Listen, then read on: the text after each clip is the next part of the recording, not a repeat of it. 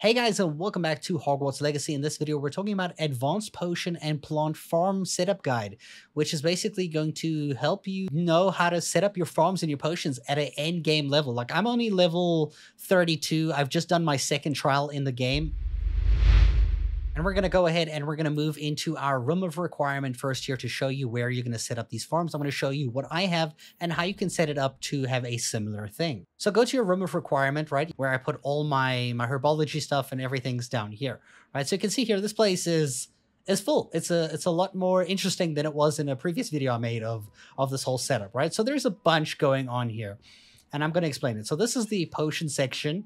Now, there are two major potion um, spellcrafts that you can use here. It's the T-shaped potion things here, which you can make three potions at a time, which comes in handy really well. You can see here, I've actually pre-made one of all the different types of potions in every three slots here, so that as I've used them, I can literally just come and collect them. And you can see here, my inventory is full. By the way, you can only have a maximum of 12 of every single thing here. So the fact that I have 12 here and everything's full here is as I use them, I can just come claim them. Like here, here's some Wiggenweld. Wiggenweld goes to 25, so you can go use them here. Now the best thing about these T-shaped potion stations is that you start on the left, you press the one, you press this arrow button here, or for me it's just like D on the keyboard, and you press Wiggenweld, and you can go across like all three of them at once so that you can save time by crafting more in that way. There's also a conjuration for this special pot over here that actually brews a random potion, like I think every 10 minutes or so. It's not entirely needed, but I mean, hey, it's it's here, I guess. I, I, wouldn't recommend it though because I have so many resources for everything else. If you are struggling for resources, maybe you can look at this. It is 3,000 gold galleons for the the conjuration. Okay, so that's it for potions. It's quite simple. Potions are simple. The the planting, however, is quite different because plants come in large, medium, and small, right? Now for your potting tables, the, the, the key is, is that you're only allowed to have seven tables. That's one, that's two, this is three, that's four, five, six, and then seven, that long one at the back there. And you get them in different sizes. Small, you can see these are all small pots, and I have five of them. These are medium, and they, they have a maximum, the maximum table size is to have three of them. You can see here we have two mediums and then we have two larges because different plants can be planted in different sizes and require sometimes a bigger size. So when you're buying your conjurations and your spellcrafts, I recommend as soon as you can. It's going to cost quite a bit. It's going to cost like almost 10,000 gold galleons. But once you have the money and you can afford it, the setup will keep you going for the rest of the game, I bet, because I'm I'm literally stocked full.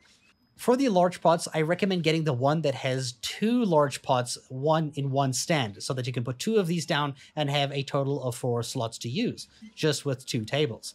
For the medium, the biggest one you can get is with three pots, so obviously get those, and I recommend placing two of them down. And then for the smalls, they get they actually come in like fives, right? So it has five small pots. I recommend placing three of these down here, so you actually have 15 small pots just by three tables, which is fantastic. And in terms of what you're going to plant in them, the first one is Dittany leaves. You can just plant Dittany leaves. This is for healing potions. Trust me, I have so many of these right now that it's I don't even need them anymore. And then Mallowsweet leaves for doing Merlin trials, which you're going to get a lot as well. Because, I mean, you get five for every single one that you harvest, which is crazy. Then you have Knotgrass Sprig. So Knotgrass can also grow in small. And then for the mandrakes, which is the obviously the kind of like, you know, this thing over here, for that thing, you can plant them like here, right? So I'm just going to collect that one and restock my inventory and you can collect five of them at a time here. So for the combat plants, you only get one at a time instead of five, like for the, the normal herbs. So for here, if you want to increase that one, that yield one to two, you can use fertilizer so that the next time you loot this, it gives you two mandrakes instead of one. I'll show you how to get fertilizer in a second. Let's move on to the medium tables. In the medium tables, I recommend planting shrivel fig, like three of them here. And then for the other one, it's it's Chinese chomping cabbage, which is obviously another another combat plant over here. As you can see, these things over here, I actually have the talent that spawns two of them when I throw one. And these are really nice. You guys should use them more often. Also recommend using your fertilizer on these so that you can collect more of them. Instead of one, you can collect two at a time when you use fertilizer. And then for the large pots here, I recommend planting Venomous Tentacula, which I've done three times, though you can do two times, and then do Flexweed, I mean Fluxweed, like two times, but honestly, I haven't used fluxweed a lot, so I've kept it to one little region here. And if I really need more, I'll just use a fertilizer on it like that, so it increases the output of how much I gain. Okay, so I'm sure you saw some other tables or things that I ignored in here. Now, that is these ones over here. You can place three of these. These basically brew in every nine minutes. They give you one random herb, just one. Honestly, it's not worth it. I, I, I wouldn't even recommend getting this. If, if I knew it was like this slow, I, I wouldn't get it, but since I bought it, I am obviously just making use of it. But one herb from each of them every nine minutes compared to like when I just loot one of these things and I get like five. So it's super not worth it. But the fertilizer compost dung collector thingies are amazing because every four minutes you can collect a bag of fertilizer, which you use on the on the plants over here. So you literally just go here and fertilizer and boom, double the increase there. And you can place three of these fertilizer dung collector thingamabobs just like that, which is fantastic. So that is pretty much what my advanced system looks like. So if you're looking to get all the seeds and all the spellcraft conjurations, let me go show you where you buy everything. So we're going to go ahead here and go to Hogsmeade because everything is done in Hogsmeade. All roads lead to Hogsmeade. Now let's start off with the store over here, Tomes and Scrolls on the southern end over here. This is the first one we're going to go to.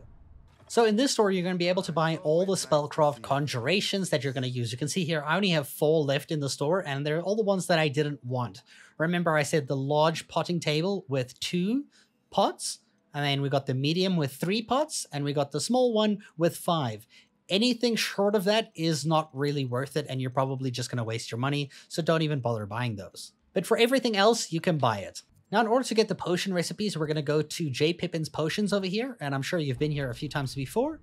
So here's the potion store. We're going to go inside and basically this guy will sell you all of the potion recipes. They'll be in like these little brown bags at the top here. I already own them, so they're no longer in the store. It's way more effective to craft your own stuff than to buy them. So make sure you take use of that. In terms of all the herbs and the plants that you can plant in your potters, you're going to be going to two stores. The Magic Neep, which is located over here, and then Dogweed and Deathcap, which is located at the north of Hogsmeade, right over there. So these two stores will sell the the herbs, the seeds that you need, and one, one packet of seeds is permanent. Means if you buy the seed, you'll always be able to plant it infinitely in all the planters as you need them. The Dogweed and Deathcap store mainly sells the combat plants. So the Chinese chomping cabbage, the mandrake, and the venomous tentacula.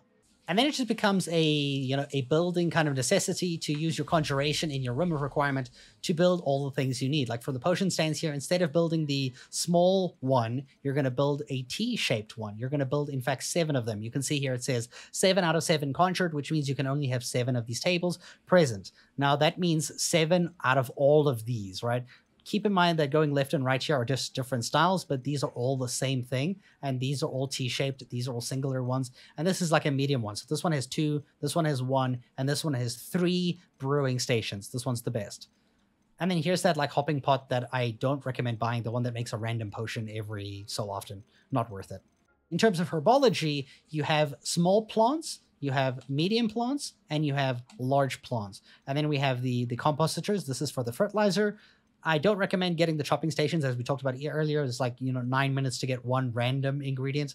Not really worth it for the price. So in the small pots, you're going to use the one that is this really long table that has the five small pots. Remember, these are just styles, so just one of these. For the medium, we're going to use the one that has the three medium pots. You can see here, I didn't even buy the one that has like one medium pot or two medium pots. I straight up bought the one with three because I didn't want to waste my money even bothering with these. Just go straight, just go straight with the big stuff and ignore that.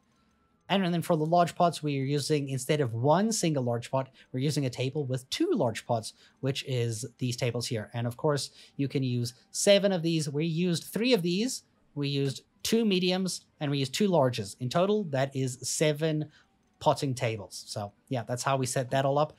And that's pretty much how you have an advanced setup for your farm, your potions, and your herbology to get all your plants. I hope you guys enjoyed this video, and thank you so much for watching.